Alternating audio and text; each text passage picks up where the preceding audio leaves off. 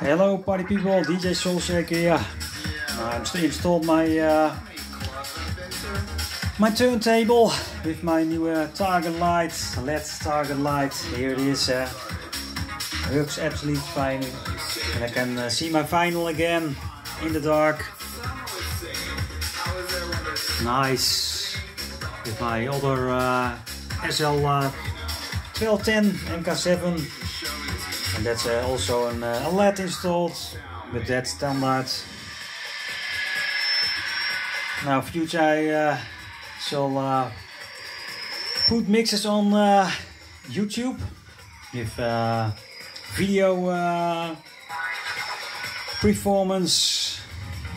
So I'm now installed again and this is final setting of my Technics. It's uh, helemaal uh, totally uh, finished now. Zero uh, percent, you see it. 33 probably on spinning. Okay, I see you. Bye bye.